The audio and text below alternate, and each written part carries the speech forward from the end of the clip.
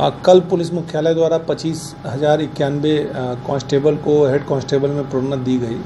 तो उसी में जो हमारे थाना क्षेत्र, सर्किल क्षेत्र में जो भी कांस्टेबल थे, जिनका हेड कांस्टेबल पे प्रमोशन हुआ तो उन लोगों ने अपनी खुशी ज़ाहिर की और हम लोगों को भी इनवाइट किया।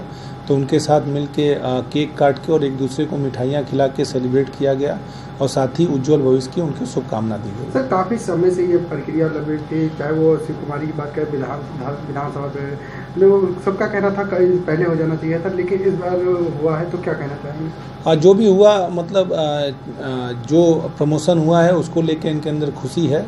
देर से ही सही, लेकिन प्रमोशन इनका हुआ है। उसको लेकर काफ़ी खुशी इन लोगों ने व्यक्त की। एक दूसरे को मिठाई खिला के, एक दूसरे की बधाई दे के इन लोगों ने अपनी खुशी का इजहार भी किया। सब्सक्राइब कीजिए हमारे डायनामाइट न्यूज़ चैनल को और दबाइए इस बेल आइकन को, ताकि आपको मिल सके हमारे लेटेस्ट वीडियो सबसे पहले।